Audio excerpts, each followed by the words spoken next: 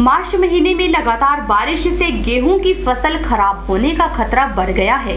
कृषि विशेषज्ञों के मुताबिक मौसम के बिगड़े मिजाज से तापमान में उतार चढ़ाव आ रहा है। इससे गेहूँ की फ़सल प्रभावित होने के आसार भी बन रहे हैं। अगर आने वाले दिनों में यही चलता रहा तो खेतों में खड़ी गेहूँ की फ़सल येलो रस्ट बीमारी की चपेट में आ सकती है। कृषि वैज्ञानिकों ने किसानों को येलो रस्ट रोग की रोकथाम के लिए नियमित तौर पर अपनी फ़सल का निरीक्षण करने और टिल्ट दवा का स्प्रे करने की सलाह दी है।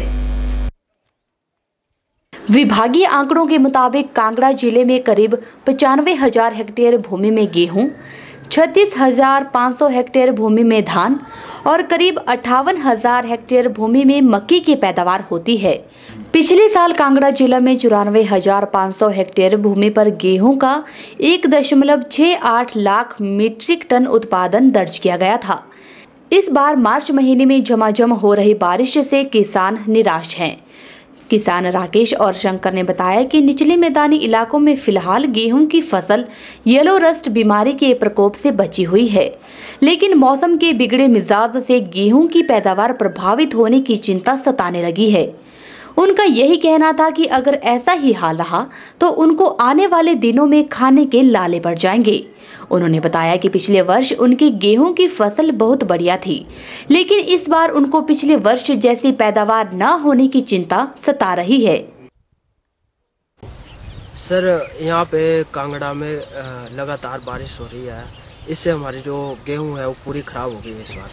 सर यहाँ पे कांगड़ा में लगातार बारिश पड़ रहे हैं। इससे हमारे लगातार बारिश होने की वजह से हमारी जो फ़सल जो मतलब जो भी कटने का टाइम था वो भी आगे और लगातार बारिश होने की वजह से लगातार हो रही है फ़सल जो मतलब अब हमारा पूरा जो भी टाइम था वो भी आगे होता है इसे निकल गया। हमारी गेहूँ और बारिश लगातार हो रही है फ़सल तो इस बार बारिश हो हमारा पूरा जो भी पूरे साल का पिछली बार जैसे हमारे गेहूँ ठीक ठाक कणक निकल गई लेकिन इस बार इस बार बारिश हो रही तो इस वजह से हमारे को क्योंकि बारिश पिछली बार जैसे हमारे को ठीक ठाक इस बार तो सिक्योरिटी बड़ी बुरी लेकिन इस फ़सल तो बरखा दे मतलब से ना खराब हो रही ज़्यादा बरखा दे पौने के बाद।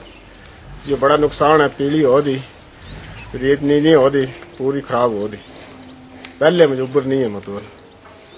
पहले जिन्नी होंगी उन्नी नहीं होनी मतलब पूरी खराब हुई इन्नी मौसम खराब की वजह तो थोड़ा जोड़ा रोजी रोटी के साधन जोड़ा हाँ कणक क्या क्या है? ਇਹ ਕਣਕ ਵਗੈਰਾ ਹੋ ਗਏ ਮੱਕੀ ਵਗੈਰਾ ਹੋ ਗਈਆਂ ਦੋ ਫਸਲ ਹੁੰਦੀ ਜ਼ਿਆਦਾ ਜ਼ਿਆਦਾ ਬਾਕੀ ਨਹੀਂ ਹੁੰਦੀ ਪਾੜ ਲੱਗੇ ਹਾਂਜੀ। ਤਾਂ ਜਿਹੜੀ ਵਰਖਾ ਹੁੰਦੀਆਂ ਇਹ ਕਾਰਨ ਹੈ ਕਿ ਵਰਖਾ ਕਾਰਨ ਹੀ ਇਹ ਹੋਆ ਦਾ ਵਰਖਾ ਹੀ ਕਾਰਨ ਹੈ ਸਰ। ਹਾਂਜੀ।